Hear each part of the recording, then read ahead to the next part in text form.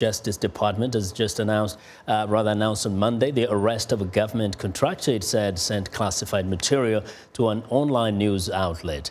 The announcement came the same day as a report by The Intercept saying a classified document it obtained showed Russian military intelligence tried to hack into U.S. voter registration systems before last year's elections.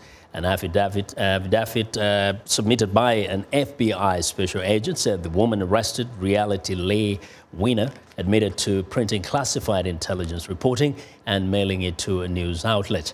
The affidavit also says a U.S. intelligence community agency determined in its uh, investigation that six people had printed the document, including Winner, and that she had email uh, contact with the unnamed news outlet.